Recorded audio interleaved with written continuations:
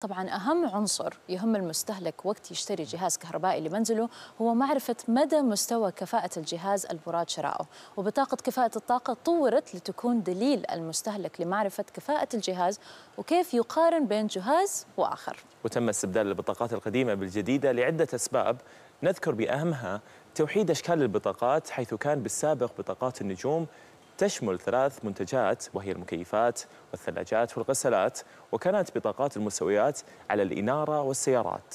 تسهيل قراءة المستهلك للبطاقة حيث تم إضافة رمز الخاص لكل منتج يميزه عن غيره وكذلك إضافة اسم المنتج بشكل واضح. طبعا إعطاء المستهلك معلومات فنية أساسية عن المنتج كاستهلاك سنوي والسعة والقدرة الكهربائية. وحملة بدلناها اختار لونك تنتهي مع انتهاء شهر أكتوبر فخلونا نشوف فيديو يوضح التحديث اللي صار على بطاقة كفاءة الطاقة. ولا تنسون مثل ما وصيتكم احرصوا على البطاقة اللي فيها نجوم أكثر. اللي فيها نجوم أكثر. اللي فيها نجوم أكثر. كات! وش ذا يا أبو حمد؟ يا أبو حمد وش فيك يا أبو حمد؟ كم مرة قايل لك يا أبو حمد؟ عدنا المشهد عشر مرات عشر مرات. طاقة ألوان ما هي بنجوم. ركز معي خلاص انسى النجوم بطاقة الألوان ما هي بنجوم. أي نعم. سم حط خلاص؟ بودرة بودرة. شفت معي؟ شفت معك. هذه بطاقة الألوان الجديدة خلوها أسهل للقراية ها؟ وتصميم موحد لجميع الأجهزة الكهربائية. فهمت الحين ولا لا؟ فهمت طال عمرك. يلا يلا بلا بودرة بلا كلام فاضي. لا، شكراً. يلا. يلا. back to one احرصوا على البطاقة اللي فيها نجوم أكثر. طاقة الوان ما هي بنجوم ما هي بنجوم انسى النجوم يا أبو حمد. جميل بصراحة. الفيديو صراحة. حبيت إنه خلاص بلا بودرة ولا كلام فاضي.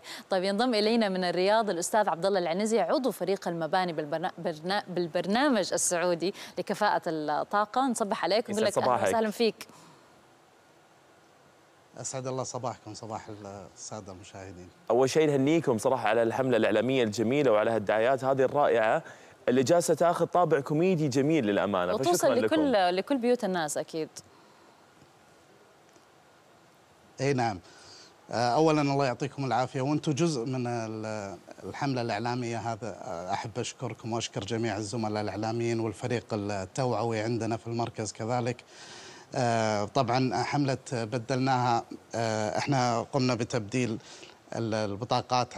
يعني قام تمت عملية تبديل على ممارسات عالمية من الدول المتقدمة في مجال كفاءة الطاقة.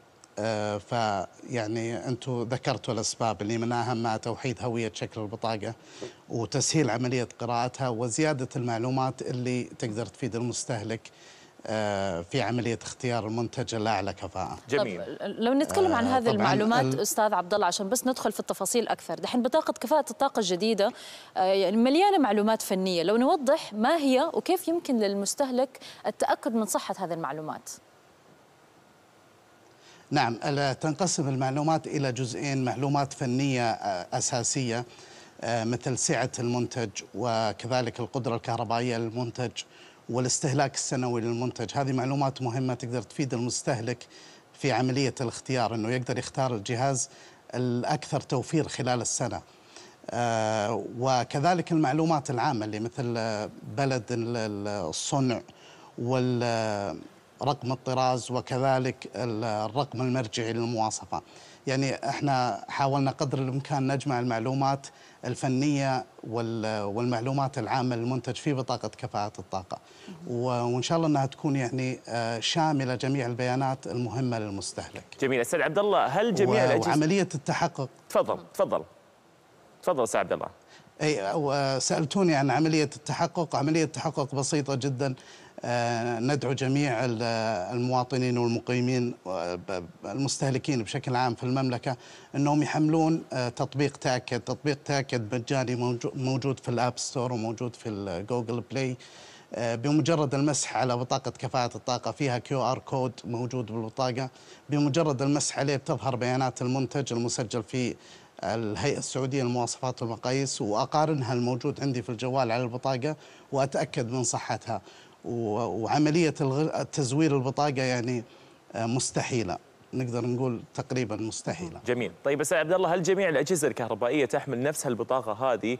ولو مثلا على سبيل المثال أنا رحت إلى محل وما لقيت مثلا في الاجهزه الكهربائية بطاقه بطاقة شنو أسوي؟ نعم. بطاقة كفاءة الطاقة موجودة لجميع الأجهزة اللي صدر لها مواصفة كفاءة الطاقة. طبعا مو كل الأجهزة لها مواصفة كفاءة الطاقة. بدينا بالمكيفات ومن ثم الثلاجات غسالات إنارة يعني استهدفنا الأجهزة الأعلى استهلاك للطاقة الكهربائية. ففي منتجات إلى الآن إحنا عندنا خطة زمنية نعمل عليها أننا نستهدف الأجهزة الأعلى استهلاك للطاقة ونبدأ نصدر لها مواصفات كفاءة الطاقة. إذا ما لقيت ملصق كفاءة الطاقة على هذه المنتجات مثل الثلاجات الغسالات المكيفات الإنارة السخانات. آه، إذا ما لقيت ملصق كفاءة الطاقة على المنتج فهو مخالف. والأغلب يعني إحنا عندنا فريق رقابي يقوم ب بعملية آه، آه، يعني خطة لمراقبة السوق بشكل عام. فيبدون يعني يستهدفون مناطق المملكة. عندهم جدول زمني وعندهم ممتاز. يعني المعلومات الكافية اللي يقدرون يشوفون ان مستحيل أحد يقدر يخالف ممتاز. أستاذ عبد الله ذكرنا بالحلقات السابقة إنه قطاع المباني يستهلك 29% من الطاقة الأولية في المملكة وحوالي كمان 70% من استهلاك الكهرباء. هل لديكم معلومات على ماذا تصرف الكهرباء في البيوت خاصة؟ آه نعم اي إحنا عشان كذا استهدفنا المكيفات. إحنا نعلم إنه المكيفات تستهلك ما يقارب 70% من إجمالي استهلاك المباني للطاقة الكهربائية. عشان كذا بدينا اهتمينا بالمكيفات عملنا لها مواصفة للمكيفات سعة صغيرة وسعة كبيرة. الآن إحنا شاملين كل المكيفات تقريبا. طيب. ومن ثم موجودة مواصفة الإنارة وال... ويعني تقريبا باقي الأجهزة تستهلك ما يقارب 30 حلو. طيب أستاذ عبد الله لو قلت لك الحين أنا إن عندنا مكيفين عندنا مكيف لونه أخضر البطاقة موجود فيها وعندنا مكيف ثاني لونه أحمر شلون نقارن في الطاقة آه، بينهم هالجهازين هذولا؟ نعم إحنا دائما نوجهكم للأعلى كفاءة والأخضر هو الأعلى كفاءة. فدائما الواحد يعني آه، يعني يحسبها آه، أنا إذا أخذت جهاز عالي كفاءة أخضر فرق سعر بسيط عن الأحمر. أنا خلال خلال فترة زمنية بسيطة أقدر أسترجع اللي أنا دفعته لأن هذه المكيفات اللي على الأخضر هي أعلى كفاءة وهي موفرة للطاقة.